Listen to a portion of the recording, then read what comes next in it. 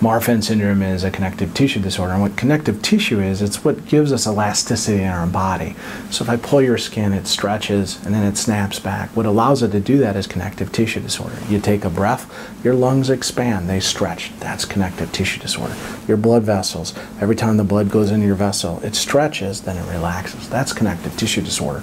Marfan syndrome is one of the more common ones that we see. A lot of people know about it. But there's a lot of other causes of similar findings. There's multiple different syndromes that are listed. And there's also a lot of patients that have aortic aneurysms and dissection.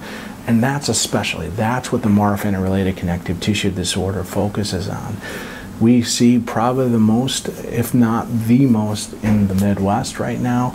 Um, we see almost close to 500 Marfan patients or related connective tissue disorders in a year. That's a lot. We have large families that come from all over the state. We offer genetic testing to try to sort this out. And it's something that's a really important aspect that we've offered our patients for years here.